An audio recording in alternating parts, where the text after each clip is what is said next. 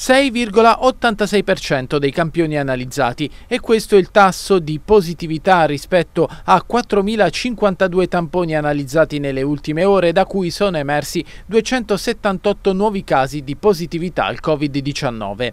Dei nuovi positivi il più giovane a 7 mesi e il più anziano, 95 anni, quelli con meno di 19 anni invece sono 36. Purtroppo ci sono ben 21 nuovi decessi, anche se 11 risalgono a giorni or sono e sono stati soltanto oggi comunicati dalle ASL. Le morti riguardano persone di età compresa fra i 66 e i 97 anni. Alla luce degli ultimi dati, il bilancio complessivo delle vittime sale così a quota 1206.